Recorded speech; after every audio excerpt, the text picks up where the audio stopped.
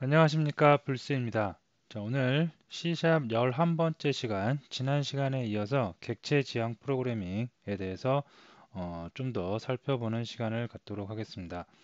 지난 시간에 우리가 객체 지향 프로그램의 가장 중요하고 가장 핵심인 부분에 대해서 학습을 했다고 볼 수가 있겠는데요. 어, 일단 객체 지향 프로그램이 무엇인지 메모리의 객체를 내가 생성하고자 할 때 언제든지 생성을 해서 그 객체들을 유기적으로 이어서 어, 어떤 프로그램을 코딩을 하는 것 그것을 우리가 객체 지향 프로그래밍이라고 한다고 그랬습니다. 자 그리고 메모리에 그러한 객체를 생성할 때 객체를 생성하기 위한 틀 몰드 같은 녀석이 하나 있다고 그랬죠. 그것이 바로 클래스라고 그랬습니다. 그래서 클래스를 어, 만드는 문법적인 구조에 대해서 살펴봤고요. 그것을 뉴라는 연산자를 이용해서 생성자 호출로 객체를 메모리에 탑재하는 방법 등에 대해서 살펴보았습니다. 그리고 메모리에 탑재된 객체는 어, 서로 어떠한 음, 주소를 갖고 있다고 했죠. 그래서 어떠한 관계를 갖고 있는지, 그 다음에 this라는 키워드 등에 대해서 살펴보는 시간을 가, 어, 가졌습니다. 자, 오늘은 조금 더, 어, 조금 뭐 고수준이라고 할 것까지는 없는데, 좀 더 깊이 있는 내용에 대해서 살펴보는 시간을 갖도록 하겠습니다. 자, 상속, inheritance라는 거하고요. 그 다음에 overriding, 재정의, 또는 polymorphism이라고 해서 어, 다양성, 다음에 method hiding, method를 감춰버리는 겁니다. 다음에 private하고 static이라는 키워드에 대해서 살펴보는 시간을 갖도록 하겠습니다. 자, 오늘 하는 내용이 음, 조금은 처음 프로그래밍을 특히 객체 지향 프로그램을 하, 처음 하시는 분한테는 조금 어려울 수도 있습니다. 하지만 어, 프로그램 객체 지향 프로그램에서 오늘 하는 내용 클래스 객체가 지난 시간에 이어서 핵심적인 부분 꽃이라고 볼 수가 있기 때문에 하나씩 하나씩 잘 정리를 해주시면 좋겠습니다. 자, 먼저 상속에 대해서 살펴보도록 하겠습니다. 영어로 inheritance라고 그러죠. 뭐 뭔가 위쪽에서 나 내가 뭔가 물려받을 때 그것을 우리는 상속이라고 하는데요. 먼저 음, 우리가 일상생활에서 상속에 대해서 한번 살펴보도록 하겠습니다. 일상생활에서 상속이라고 하면 대부분 부모님한테 무엇인가를 내가 물려받을 때 그것을 우리는 상속이라고 그러죠. 그래서 부모님이 여기 이렇게 계시는데요. 부모님이 갖고 있는 토지, 다음에 건물, 돈, 집, 뭐 자동차가 될 수 있고 등등을 나는 상속을 받아요. 그러면 요 자식 입장에서는 열심히 뭐 일을 해서 돈을 벌어서 토지를 사지 않아도 돼요. 토지가 있는 거죠. 여기 있죠. 다음에 열심히 일을 해서 돈을 벌어서 건물을 사지 않아도 돼요. 열심히 일을 하지 않아도 돼요. 돈을 벌지 않아도 돼요. 왜? 부모님이 다 주니까 집도 마찬가지입니다. 여기 다 있습니다. 자 이렇게 부모님으로부터 자식은 다 무, 어, 떤 것을 다 상속받는다. 그러면 자식은 그냥 공짜로 생기는 거죠. 뭐가 생겨요? 토지, 건물, 돈, 집 이런 게 생기는 겁니다. 자 이런 것을 우리가 상속이라고 하죠. 상속. 자 프로그래밍에서도 똑같습니다.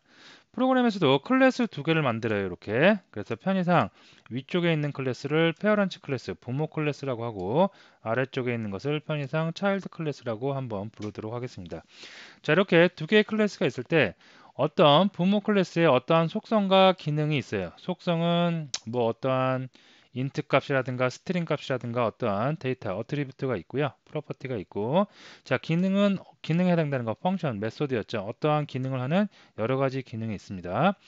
자 이럴 때 child 클래스가 parents 클래스를 상속을 받는다는 얘기는 무슨 무슨 얘기냐면 inheritance 한다는 건 무슨 얘기냐면 child 클래스에는 아무런 내용이 없어도 돼요.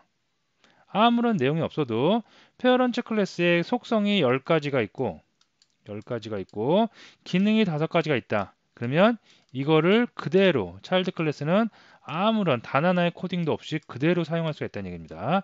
일상생활에서의 상속과 똑같죠. 그렇죠? 그래서 여러분들이 일단 기본적인 개념, 일상생활에서의 상속의 개념을 그대로 프로그램에서 옮겨와서 만들 수도 있다. 어, 라고까지 일단 정리를 해주시면 되겠습니다.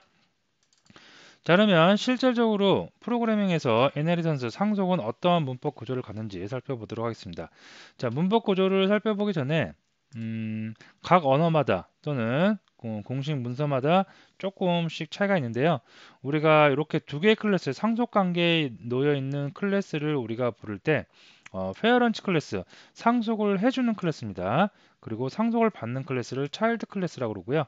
또 어쩔 때는 위쪽 상위에 있다고 해서 상속을 해주는 클래스를 슈퍼 클래스라고 부르고 다음에 상속을 받는 클래스를 아래쪽에 있는 클래스다라고 해서 sub 클래스라고 합니다. 또는 위쪽에 있는 상속을 해주는 클래스를 기반 클래스라고 해서 base 클래스라고도 하고요.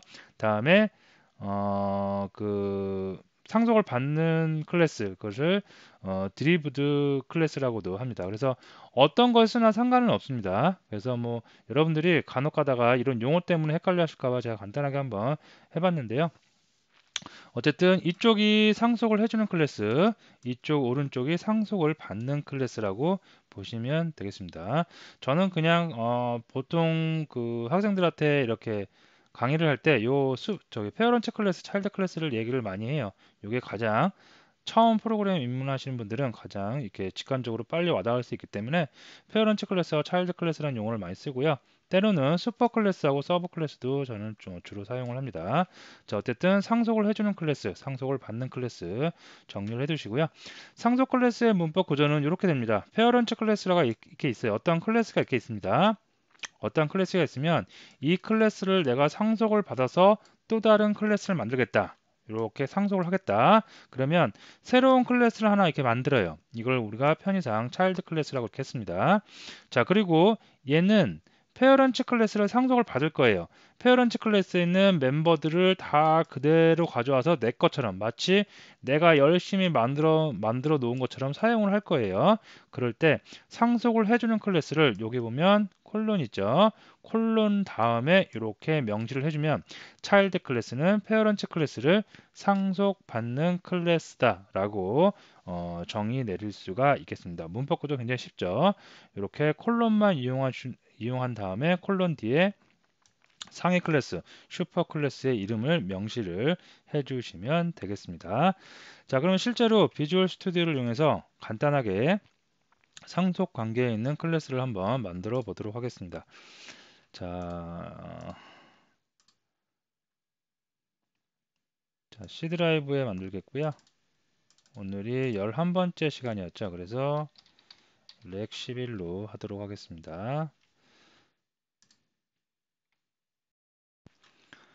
자, 프로젝트 이름을 Object 프로젝트라고 하겠고요.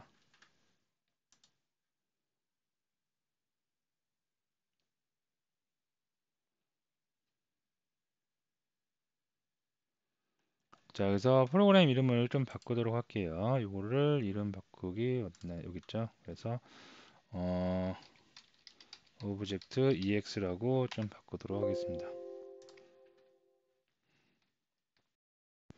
자 됐고요. 자 요거는 좀 지워버리도록 하겠고요. 자 여기서 이제 요걸 우리가 편의상 어, 프로그램이 처음 실행되는 method main method였죠. 그래서 main method를 갖고 있는 클래스라고 해서 편의상 메인 클래스라고 한번 이름을 칭해 보도록 하겠습니다. 자 요 클래스 말고 클래스 두 개를 만들어서 두 개를 상속 관계에 놓 이도록 한번 그 코딩을 한번 해보도록 하겠습니다.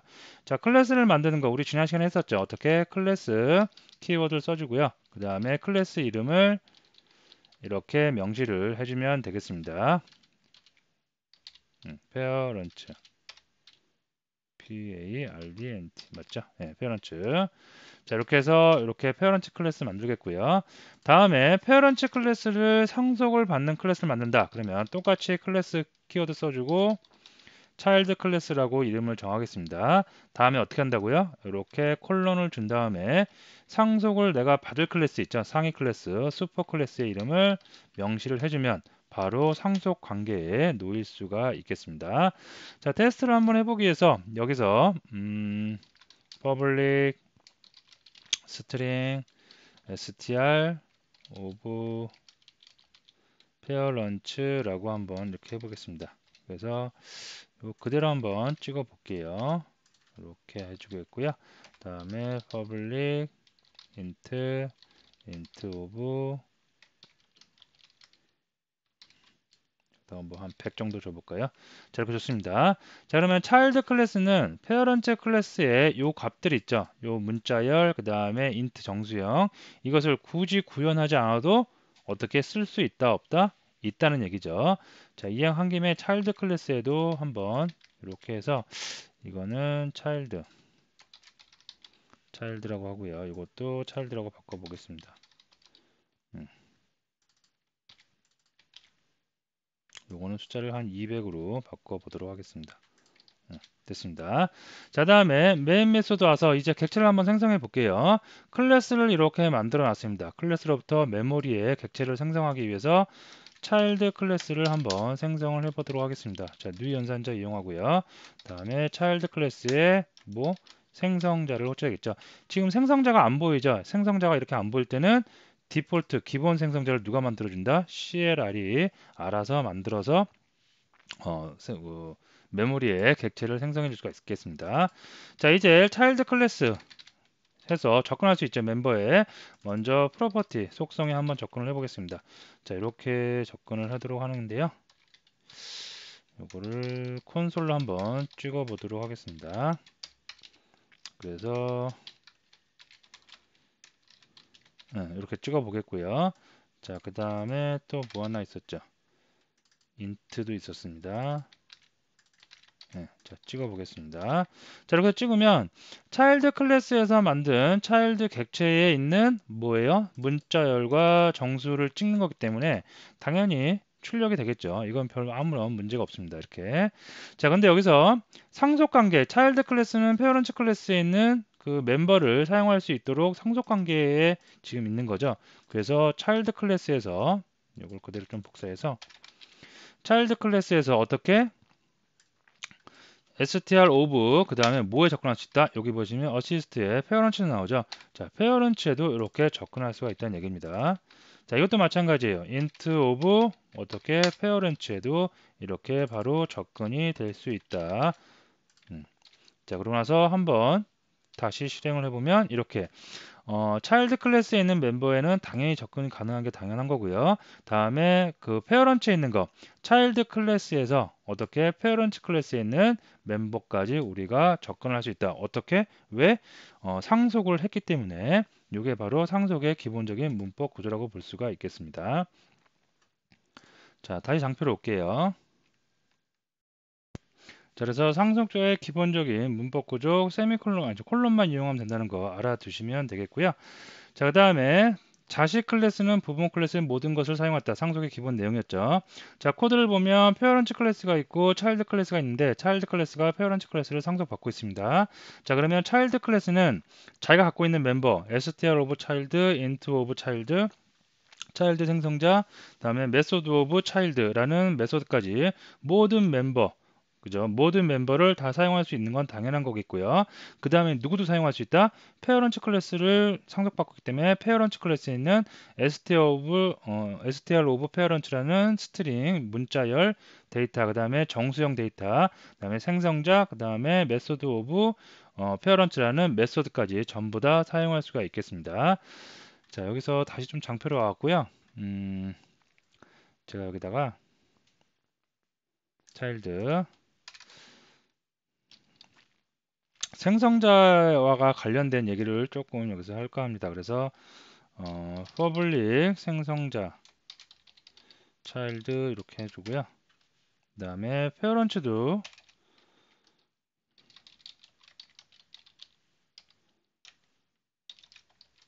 네, 이렇게 생성자를 하나 만들어 놓고요. 그 다음에 로그를 한번 넣어 보도록 하겠습니다.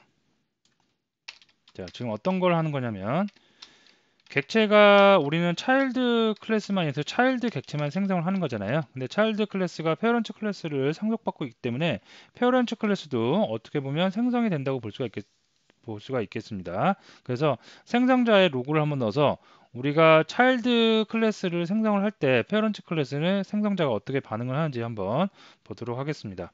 그래서 child 클래스의 constructor라고 한번 로그를 집어 넣겠고요. 그 다음에 parents 클래스에도 마찬가지로 parents 이렇게 넣도록 하겠습니다. 자 이렇게 보면 음, 객체를 우리가 지금 여기서 생성을 합니다. 그죠? 자 요거는 좀 주석 처리를 할까요? 지금 이게 중요한 게 아니니까 생성자와 관련된 내용만 한번 보도록 하겠습니다. 이렇게 하면 얘가 어디로 가요? 차일드 클래스에 생성자 호출하니까 이 로고가 찍히겠죠. 자 이럴 때 이 위쪽에 있는 페어런츠 이 녀석은 어떻게 되는지 한번 보도록 하겠습니다. 그래서 보면 음, 자 이렇게 됩니다. parents constructor가 먼저 호출이 되고요. 그 다음에 child constructor가 호출된 것을 볼 수가 있습니다. 그러면 어떻게 되는 거냐면 자 우리가 child 클래스를 이용해서 child 객체만 메모리에 생성을 했어요. 그러면 얘가 어디로 가요? 이쪽으로 옵니다.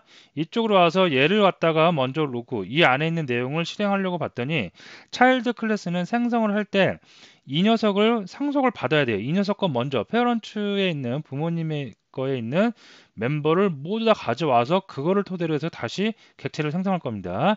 그렇기 때문에 어떻게 상위로 올라갑니다. 올라가서 페어런츠 클래스에 있는 디폴트 생성자, 생성자를 먼저 호출하고요. 그 다음에 이 작업이 다 끝나고 나면 이제 본연의 나한테로 와서 내 거에 있는 생성자를 호출한 것을 이렇게 순서대로 볼 수가 있겠습니다. 그래서 생성자의 생, 메모리의 객체가 생성되는 순서, 생성자의 로그를 통해서 여러분이 확인을 해주시면 되겠습니다. 자, 그 다음에 method도 한번 볼게요. 여기다가 child 클래스 void에서 음, do method do child method라고 할까요? child method라고 이렇게 한번 주겠습니다. 자, 여기다가 그리고 여기다가 이렇게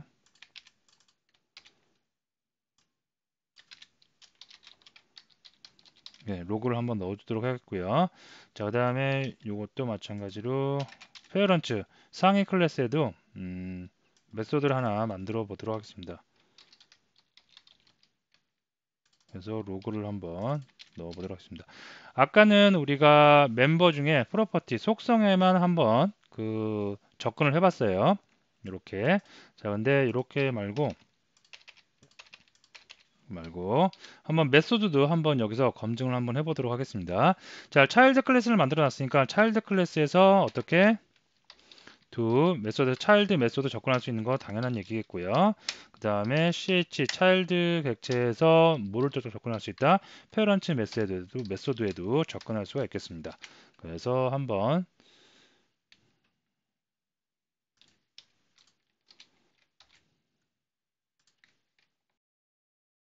실행을 해보면 이렇게 되죠. child 클래스에서 child 클래스에 있는 method는 당연히 그 접근이 가능했고요. 다음에 뭐에까지 접근이 가능하다, parents까지 접근이 가능하다. 그죠? 그래서 지금까지 내용을 한번 정리를 해보면 child 클래스가 parents 클래스를 상속받았기 때문에 parents 클래스, child 클래스에서는 parents 클래스의 모든 멤버, property라든가 이런 method까지 기능까지 전부 다 사용 가능하고 child 클래스의 객체를 메모리에 생성을 하면 어디 parents 클래스의 디폴트 생성자도 호출이 되어서 메모리에 탑재가 된다라고 보시면 되겠습니다. 자, 장표로 다시 또 오겠고요. 자, 이번에는 overriding, 재정의라고 합니다. 재정의와 그 다음에 다형성, polymorphism, 그죠? 어, 이 두 가지에 대해서 한번 다형성과 재정의에 대해서 살펴보는 시간을 갖도록 하겠습니다. 자, 이게 뭐냐면 부모 클래스의 메소드를 자식 클래스에 재정의하는 거예요. 자, 여기에 parents 클래스가 이렇게 있고요. 다음에 밑에 아니 옆쪽에 이렇게 child 클래스가 있습니다. child 클래스는 parents 클래스를 상속하고 있죠. 근데 parents 클래스에 어떤 메소드가 이렇게 있어요. 메소드가 있는데 child 클래스에서 이렇게 그 상속을 받아서 어, 부모의 메소드를 이용하려고 봤더니 부모의 메소드가 약간 old해요. 그래서 나는 다시 한번 이거를 조금 더 새롭게 개선해서 쓰고 싶어요. 그럴 때 parents 클래스와 동일한 이름의 메소드를 만들 때 여기서 내가 새롭게 구현을 하는 겁니다. 메소드를 정의하는 거예요. 이거를 말 그대로 부모 클래스에 있는 어떠한 기능을 어디 child 클래스에서 다시 정의한다라고 해서 재정의라고 합니다. 재정의하는 방법은 어, parents 클래스에 있는 메소드 재정의를 할, 할 메소드를 이렇게 virtual이라는 키워드를 써주면 되겠고요. 다음에 재정의하는 child 클래스에서는 메소드 이름 앞에 override라고 이렇게 보면 되겠습니다. 그래서 여기 보시면 make 짜장 아, 예를 들어서 여기가 식당이에요. 그래서 부모님이 운영하는 식당이 옛날 식당에서는 짜장을 만드는 기능이 있습니다. 그래서 make 짜장이라는 그 오더를 내리면 짜장이 만들어지는 어떠한 그런 실행문이 실행이 될 수가 있겠는데 시대가 흘렀어요. 시대가 흘러서 부모님 세대에서 만든 짜장과 신세대들이 바라는 짜장이 달라요. 맛이. 그래서 신세대 child 클래스에서는 신세대의 입맛에 맞게 다시 한번 make 짜장이라고 해서 다른 어, 메소드를 하나 더 선언한 겁니다. 동일한 이름이에요. make 오더. 동일한 이름인데 기능은 동일하기 때문에 똑같이 호출을 하지만 실행하는 결과는 이제는 재정의했기 때문에 부모님의 내용이 실행되는 것이 아니라 어떻게 child 자식의 자식이 정의한 메소드의 내용이 실행될 수가 있겠습니다. 자, 그래서 이것을 한번 Visual Studio 이용해서 또 한번 구현을 해보도록 하겠습니다. 자, Visual Studio 오겠고요. 자 여기다가 코딩을 한번 해보도록 하는데요. 어, 여기다 클래스를 계속해서 하나의 페이지 namespace 안에다가 클래스를 계속 만드는 것도 좋지만 너무 클래스가 많아지면 가독성이 좀 떨어지죠. 그래서 파일을 좀 분리해 보도록 할게요. 어, 솔루션 탐색기에서 지금 이 프로젝트의 경로를 한번 보면 음, 이렇게 되는 거죠. 여기 있죠. 그리고 여기에 보면 object EX 어, 이 파일이 스크립트 파일이 있습니다. 자, 여기다가 이제 파일을 좀 분리해서 클래스를 한번 만들어 보도록 할게요. 그래서 파일에 새로 만들기 파일을 들어가도록 하겠습니다. 자, 비주얼 C샵 클래스를 선택을 하겠고요. 그 다음에 열기 저렇게 만들어 놓고 우리는 이거를 조금 옆으로 옮겨 볼까요? 음, 자, 자 같은 namespace에서 만들 거예요. 그래서 여기다가 namespace namespace object project라고 똑같은 똑같은 namespace 있기 때문에 파일이 분리되더라도 같은 namespace에 있는 거라고 어, 생각을 저기 프로그램이 동작을 합니다. 그리고 이거를 그 안으로 넣어 주겠습니다. 넣어 주고 클래스의 이름은 뭐라고 할까요? 그냥 child parents 클래스부터 만들까요? parents 클래스라고 한번 칭하도록 하겠습니다. 음. 그리고 생성자도 마찬가지로 이렇게 만들겠고요. 자, 저장을 하는데 저장은 어디에요? 아까 11에 여기죠. 음, 여기다가 페어런츠 클래스라고 이렇게 저장을 하도록 하겠습니다. 음, 됐습니다. 자, 여기다가 콘솔.write 라인에서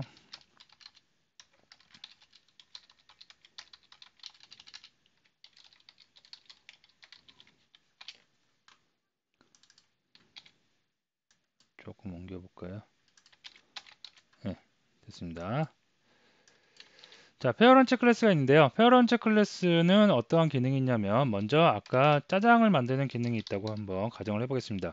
그래서 void 그 다음에 make 어떻게 할까요? 짜 짜장 맞죠? 짜장 그래서 짜장을 만드는 기능이 있다고 합니다. 그래서 여기다가 로그를 한번 넣어 보도록 하겠고요.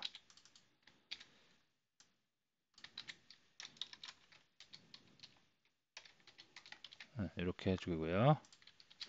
자 이렇게 해놨고요. 그 다음에 이제 child 클래스, parents 클래스를 상속을 받을 child 클래스를 또 하나 만들어 보도록 하겠습니다. 그래서 파일에 새로 만들기 파일 들어가겠고요. 시작 클래스 자 이것도 마찬가지로 namespace 똑같이 맞추도록 하겠습니다.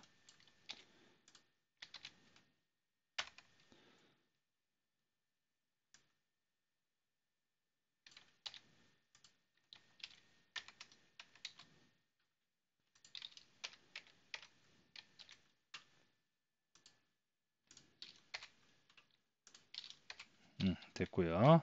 자, 이 녀석의 이름은 child 클래스라고 칭하도록 하겠습니다. 여기다가 네, 됐고요. 그 다음에 좀 갖다가 쓰면 child 클래스의 생성자가 있겠고요. 자, 이런 상태에서 parents 클래스를 child 클래스가 상속을 이제 받아야겠죠. 그래서 parents 클래스 상속을 받았습니다. 상속을 받아서 쓰는데 부모님 세대에서 만드는 make 짜장 요게 입맛이 바뀌어서 신세대 신세대에서는 좀 짜장 맛을 다른 맛을 원한다고 볼 때 이 기능을 재정의하는 거예요. 그대로 그대로 가져옵니다. child 클래스에서 그대로 가져온 다음에 어떻게 한다고요? parents 클래스에 있는 것을 child 클래스가 어, 그 재정의 overriding을 하기 위해서는 상위 클래스에다가 어떻게 virtual이라는 키워드를 아이고 virtual이라는 키워드를 이렇게 명시를 해주면 되겠고요. 그 다음에 child class에서는 뭐라고요? 여기다가 override라고 음, override라고 키워드를 명시를 해주면 되겠습니다. 자 이렇게 해주면 어떻게 해요? 어, 실제로 한번 여기를 조금 지우고요. child class 타입을 이용해서 child class를 한번 아이고 child class를 생성을 한번 해보겠습니다. 이렇게 생성을 하겠고요. 자 다음에 child class 이렇게 생성까지 하고 한번 실행을 한번 해볼게요. 그러면 이렇게 되죠. child class를 생성을 했지만 child class가 parents class를 상속받고 있기 때문에 parents class constructor 생성자 호출됐고요. 다음에 child class의 constructor도 호출이 됐습니다. 자, 이 상태에서 child class에 있는 어떻게 make 짜장을 이렇게 하면 어떻게 된다? 네, 이렇게 make 짜장 이거 좀 구분을 해야 되겠네요. 어... 여기다가 차일드 클래스 건지 부모 건지 부모님 건지 모르니까 페어런츠 클래스 네, 이렇게 하고 나서 다시 한번 실행을 해보도록 하겠습니다. 음. 자 이러면 어떻게 된다? 이렇게 하면 make 짜장 of child class child class에 있는 게 상위 클래스 부모님 거를 재정의해서 아래쪽에 있는 게 실행된 것을 확인할 수가 있겠습니다.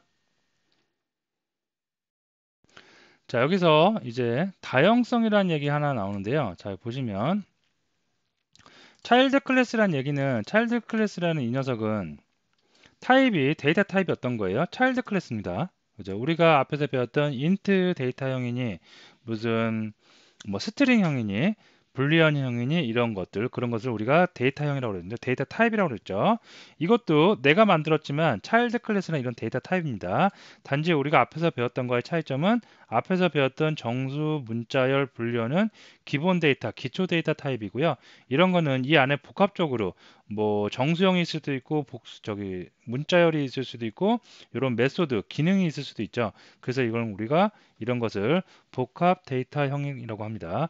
어쨌든 데이터 타입이라고 볼 수가 있겠는데요. child class라는 데이터 타입을 가지고 이러한 reference 변수가 이러한 객체를 가리키고 있다라고 보시면 되는데 자 이럴 때 child class는 가만히 보면 child class는 누구를 상속받고 있어요? parents class를 상속받고 있죠. 그래서 여기서 이렇게 코드를 조금 변경할 수도 있어요. 예를 들어서 parents class, parents reference 변수를 하나 만들어 놓고요. 이 parents reference 변수는 어떤 객체를 생성하는 게 아니라 child class를 그대로 가져오는 거예요. 이렇게 그러면 내가 생성한 거는 child class죠. 뭐 parents class를 상속받은 클래스를 이용해서 객체를 생성했어요. 그것의 타입을 그죠? child class를 parents class에 다시 할당 연산자, 대입 연산자에서 대입을 해줬고요. 주소값을 넘겨줬고 parents class는 그러면 이제 뭐예요? 이 객체를 가리키고 있는 거죠. 결과적으로 child class와 parents class는 같은 곳을 가리키고 있습니다. 자, 이 상태에서 그러면 parents class에 어떻게 make 짜장이라는 거를 한번 이렇게 호출을 한번 해볼게요. 자, 그럼 어떤 결과가 나타나는지 한번 실행문을 보도록 하겠습니다. 자, 이렇게 보시면 먼저 parents class constructor고 child, 어, child class constructor 실행된 것은 음, 확인이 되시겠죠. 그 다음이 중요합니다. 그 다음에 child class make 짜장해갖고 어, 재정의한 override한 child class에 있는 make 짜장이 실행이 됐어요. 요거까지는 별 문제가 없습니다. 자, 근데 여기서 데이터 타입을 바꿨어요. parents class를 바꿨습니다. 그리고 parents class 누구를 바라보게? child class를 바라보게 바꿨습니다. 그리고 나서 parents class에서 make 짜장을 호출하니까 누가 호출돼요? 그대로 child class가 호출돼요. 그죠? 왜 그래요? 재정의 메모리의 child class에 있는 아, make 짜장이라는 method 기능이 있는데 그것을 child class에 재정의해서 아예 바꿔버린 거죠. 그렇기 때문에 이렇게 타입을 바꿔서 상위 타입으로 바꿔서 어, 객체를 가리킨다 하더라도 이럴 때 make 짜장을 호출하면 누구? 상위 클래스에 있는 parents class 이 녀석을 따라가는 것이 아니라 어디 재정의했기 때문에 어디 child class에 있는 이 녀석이 호출이 된다고 보시면 되겠습니다. 처음 OOP 프로그래밍을 하시는 분들 중에 이런 거를 굉장히 많이 헷갈려요. 이 부분이. 그래서 지금 잘 정리를 해주세요. override 했다는 걸 말 그대로 정의를 하는데 재정의했다는 얘기예요. 아예 메모리에서 정의를 새롭게 했기 때문에 이렇게 다형성 이걸 다형성이라고 합니다. child class가 parent class로 타입이 바뀔 수는 있어요. 어떻게? child class가 parent class에 상속받았기 때문에 바뀔 수 있지만 그 바뀐 데이터 타입을 가지고 override한 method를 호출한다고 해서 원래 있던 그 상위 클래스에 있는 method가 호출되지 않습니다. 어떻게? 그대로 child class에 있는 내용이 호출된다고 보시면 되겠습니다. 자, 근데 여기서 한 가지만 더 해보고 넘어가도록 할까요? 나는 상위 클래스에 있는 것을 한번 써보고 싶어. 나는 어떤 손님이 왔는데 parents class 부모님이 만든 짜장면의 맛이 더 좋대요. 단골 손님인가 봐요. 그래서 지금 신세대한테 맞는 재정의한 make 짜장이라는 메소드에 의해서 짜장면을 만드는 맛도 좋지만 나는 부모님 거를 맛보고 싶대요. 그럼 어떻게 될까요? 상위로 올라가야 돼요. 그죠? 그래서 상위로 올라간다고 할 때 우리는 어떤 키워드? base라는 키워드를 쓸 수가 있습니다. 그래서 base 어, make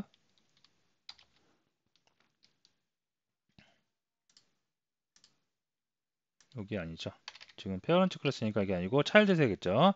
child에서 어, base 어떻게 make 짜장을 해서 하면 이 base 지난 시간에 우리가 기억나실지 모르겠는데 this라는 키워드 살펴봤습니다. 그래서 this라고 이렇게 해주면 해주면 이 this는 누구? 객체 지금 현재 나, 의 객체 그죠? child class를 가리키는 this라고 했는데요. this하고 약간 상반되게 base는 뭐냐면 내가 상속 받고 있는 클래스, 상위 클래스로 올라간다는 뜻이에요. 그러면 지금 child class에서는 상위 클래스가 parents class겠죠. 즉 base는 누굴 가리킨다? parents class를 가리키고 있는 겁니다. 그래서 parents class의 make 짜장을 호출을 해요. 그럼 이 녀석이죠. 이 녀석이 실제로 실행될 수가 있겠습니다. 그러고 나서 다시 한번 제가 그러면 실행을 한번 해보도록 할게요. 그러면 이렇게 그죠? parents class 먼저 어, 여기 make 짜장이 되는데 parents class가 실행이 됐습니다. 그 다음에 child class 됐고요. 다음에 parents class, child class. 그죠? 그렇게 해서 base를 이용해서 상위 클래스에 있는 것을 우리는 실행을 할 수도 있겠습니다. 자, 그래서 다형성과 override. overriding 먼저 머릿속에 잘 정리를 해 주시면 될 것 같고요. 그 다음에 자식 클래스는 부모 클래스의 타입으로 변경될 수 있어요. 어차피 부모 클래스를 받았으니까. 그래서 부모 클래스 다형성으로 바뀌, 데이터형을 바꿀 수는 있는데 그럴 때 base 키워드를 이용해서 부모 클래스의 멤버에 접근할 수 있다. 라고까지 정리를 해 주시면 되겠습니다. 자, method hiding이라는 말이 나오는데요. 자, 이거는 방금 말 그대로 메소드를 감춘다는 뜻이에요. 메소드를 잠깐 감춰서 눈에 보이지 않게 어, 그 실행을 하지 않게 잠깐 감춘다는 뜻인데 방금 우리가 위에서 살펴봤던 overriding 있죠.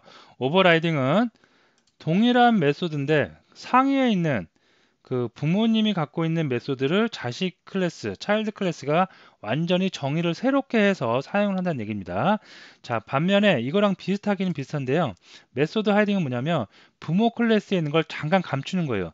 얘를 잠깐 아예 새롭게 재정의 하지 않고 얘를 잠깐 감춘 다음에 child class에 있는 메소드를 사용하겠다는 얘기입니다. 자, 그래서 좀 말이 어려울 수가 있는데 코딩을 직접 해보면 코드를 짜보면 금방 여러분이 알 수가 있을 겁니다. 자, 먼저 parent class 이번에는 어, 아까 뭐 짜장 했었죠. 그럼 이번엔 짬뽕 한번 해볼까요?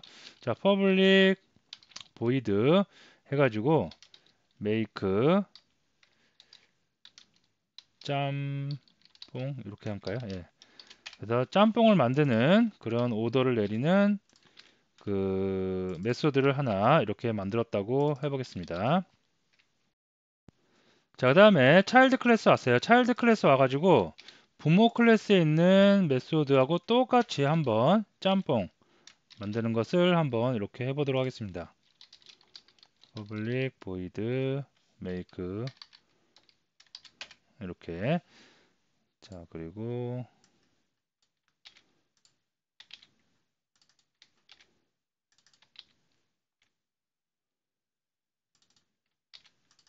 네, 로그를 바꿨습니다. 자 이렇게 했는데 이렇게 하면 이렇게 마우스 갖다 대면 뭐라고 나와요? 어, 숨긴 뭐 뉴키워드를 사용을 하죠. 동일한 child class하고 지금 parent class에 동일한 메소드가 있기 때문에 뭔가 처리를 하는 얘기인데요. 처리를 할 때 한 가지 방법이 방금 우리가 사용, 사용했던 override, overriding 하는 방법이 있습니다.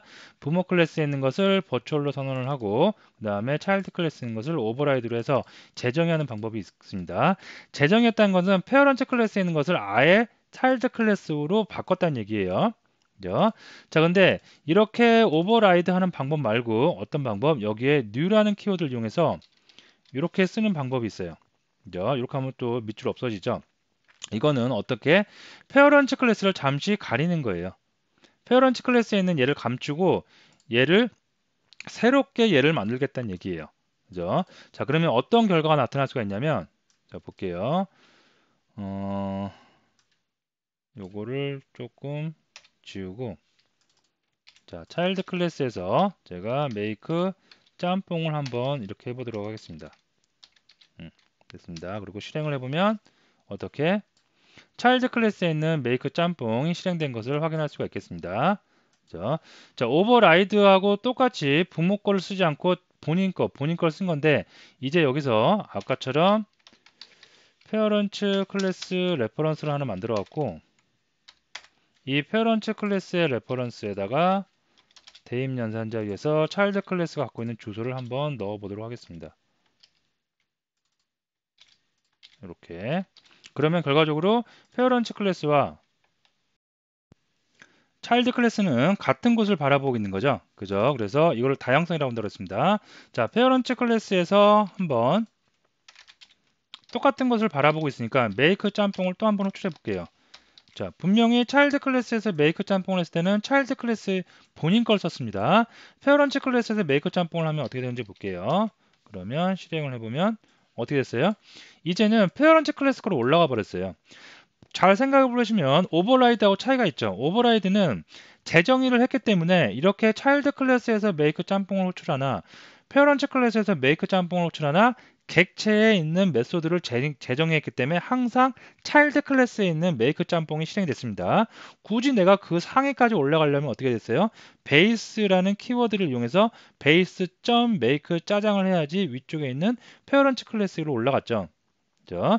자, 하지만 new라는 것을 이용해서 메소드 hide, 메소드를 감추기 기능을 쓰면 잠깐 감춘 거예요. 없어지 정의가 새로 된 게 아닙니다. 그렇기 때문에 child 객체 타입을 가지고 접근을 하면 child 형 저, 실행이 되는 거고요. 다음에 parents 데이터 타입을 가지고 parents 데이터 타입을 가지고 make 짬뽕을 접근하면 누구 거 parents 클래스에 있는 make 짬뽕이 실행된다. 라고 정리를 잘 해두시기 바랍니다. 제가 오프라인에서 강의할 때 이 부분에서 굉장히 많이 헷갈려 하시더라고요. 이 부분이 헷갈려 하는 이유는 우리가 지난 시간에 배웠던 객체가 클래스로부터 생성이 될 때 메모리에 어떻게 생성이 되는지 그 그림을 정확하게 이해를 하지 않아서 그런 겁니다. 그래서 그런 그림을 정확하게 이해하신 다음에 이 overriding과 메소드 hiding을 머릿속에서 이 코드를 이해하려고 하지 말고 메모리를 머릿속에 구성을 한 다음에 구성을 한 다음에 메모리의 객체가 생성이 됐다. 거기서 override를 하고 재정의를 하고 다형성이라는 것도 존재한다. new라는 키워드를 이용해서 우리는 메소드 hide도 할 수 있다. 그런 개념을 정확하게 잡으시면 그다지 어려운 내용은 아닐 겁니다. 자, 그래서 new라는 이용해서 부모 클래스의 메소드를 감추는 기능, 감출 뿐이지 재정의 된 게 아니기 때문에 언제든지 나는 parent 데이터 타입을 이용해서 부모의 메소드를 호출해서 사용할 수 있다라고 보시면 되겠습니다. 자, 마지막으로 이제 private과 static이라는 키워드가 나오는데요. 자, private 우리가 지금까지 사용했던 접근 제한자를 보면 요 앞에 다 public이 붙어요. 이렇게 public. 그죠? public은 공개형이라고 그래서 클래스를 만들어 놓고 언, 언제든지 누구나 다 갖다 쓸 수 있는 거예요. 즉 iNum이란 그 변수는 아무 데서나 외부에서 언제든지 다 쓸 수가 있다는 얘기입니다.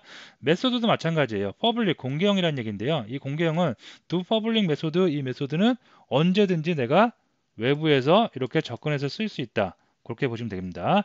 반면에 private이라고 있어요. private은 개인적인 사생활 뭐 그런 뜻이죠. 그래서 외부에서 쓸 수가 없어요. 외부에서 쓸 수 없고 요 클래스 내가 해당하는 내 그 클래스 안에서만 쓸 수 있는 데이터 또는 안에서만 쓸 수 있는 메소드 기능이라고 보시면 되겠습니다. 그래서 private과 public 알아두시면 되겠고요. static이라는 좀 특이한 녀석이 있는데 static은 뭐냐면 객체를 생성하지 않고 클래스 멤버를 바로 사용할 수 있다. 이게 뭐냐면 어떤 클래스가 이렇게 있어요. 클래스가 있고 이 안에 public static int knum이라서 30이 있는데 우리가 보통 이 클래스에 있는 이 숫자 30이라는 숫자 knum이라는 변수를 쓰기 위해서는 new라는 것을 이용해서 슈퍼 클래스라는 거에 생성자를 호출한 다음에 즉 객체를 생성한 다음에 객체를 가리키는 도트 저기 뭐야 그 reference 변수 점 다음에 knum 이렇게 써야 되죠. 이렇게 쓰지 않고 static은 메모리에서 조금 독특한 녀석이 독특한 곳에 이게 그 생성이 되는데요. 얘는 객체를 생성하지 않고 바로 어떻게 이렇게 어, 클래스명 도트 접근자 그 다음에 바로 knum이라고 해서 쓸 수가 있다는 얘기입니다. 자, private과 static 어, 말로 하면 좀 어려운데 제 코드상으로 한번 간단하게 정리를 해주겠습니다. 코드상으로 보면 아무것도 아니에요, 사실. 그래서 여기를 좀 지우겠고요. 자, 새로운 파일을 하나 만들어 보겠습니다. 자, 요 이거를 뭐라고 할까요? 슈퍼 클래스라고 할까요? 클래스라고 할게요. namespace는 요거를 그대로 가져와서 쓰겠습니다.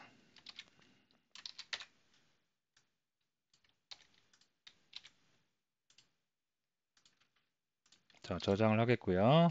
저장은 슈퍼 클래스 그대로 저장을 하겠습니다. 자 그러면 슈퍼 클래스를 어, 상속을 받는 서브 클래스도 하나 만들 필요가 있겠죠. 그래서 이 녀석은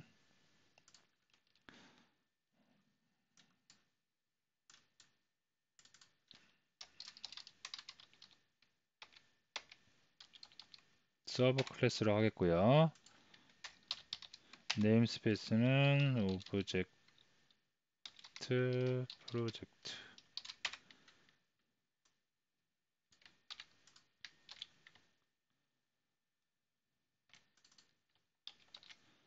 자 서브 클래스라고 이름을 만들겠습니다. 됐습니다. 자 서브 클래스는 슈퍼 클래스를 상속을 받을 거고요. 여기서 슈퍼 클래스 상속을 받겠습니다. 자 그러면 슈퍼 클래스부터 한번 만들어 보도록 하겠습니다 자 먼저 슈퍼 클래스에다가 제가 public int 해서 i num이라는 변수에다가 10을 한번 넣어 볼게요. 그 다음에 private을 한번 해볼게요. private은 외부에서 사용할 수가 없다고 했습니다. jnum은 20이라고 한번 해보겠습니다. 다음에 public은 public인데 static이라고 했어요. static은 뭐예요?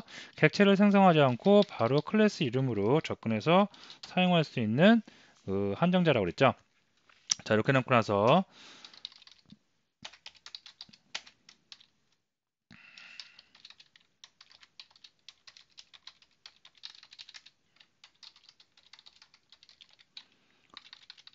constructor 이렇게 super class constructor 네, 이렇게 해놓겠고요. 자 다음에 모두 아까 method 기능도 있어야겠죠. 그래서 public int void 할까요? 뭐 반환형은 없지 하고요. do public 메소드 자 퍼블릭 타입입니다. public 타입이기 때문에 외부에서 얼마든지 쓸 수가 있죠. 그래서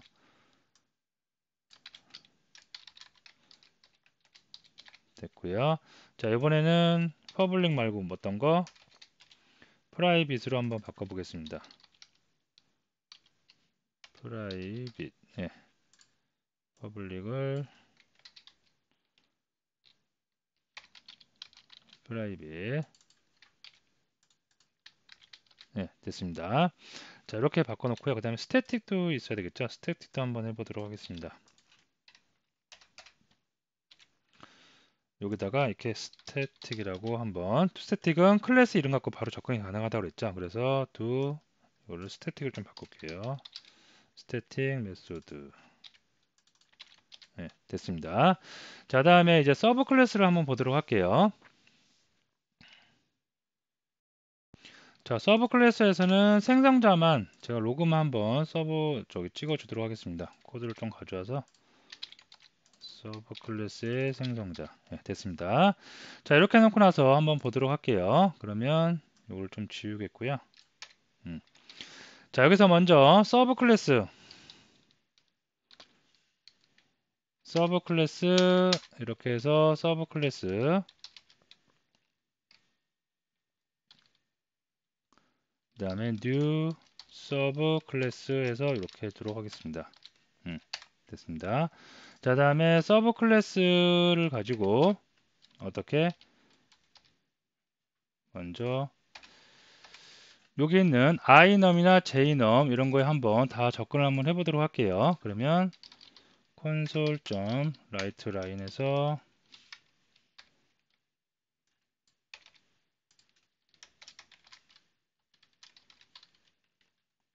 자 sub class에서 어떻게 public int니까 여기 접근할 수 있겠죠. 그래서 iNum하면 접근이 가능합니다. 이거를 이렇게 해볼게요. 자, 그 다음에 이렇게 해서 아이고 이거는 좀 헷갈리니까 자 jNum 한번 접근해 볼까요? jNum 접근하면 된다 안 된다? 안 되죠. 왜 안 되냐면 private이기 때문에 요 super class 안에서만 쓸 수 있는 거지 바깥쪽에서는 접근이 안 됩니다. 그래서 이것은 옳지 못한 문장이 성립될 수 없는 거고요. 그 다음에 static을 접근하는데 static은 sub에서 어, kNum이라고 하면 음, 이렇게 뭔가 에러가 뜨고요. 어, 이거는 instance 참조를 사용하여 액세스 없, 없습니다 나와요. static이기 때문에 이렇게 instance 변수를 이용해서는 참조할 수가 없겠고요. 바로 클래스 이름으로 이렇게 접근을 하는 겁니다. 자, 그래서 클래스 이름으로 접근을 하겠고요. 클래스 kNum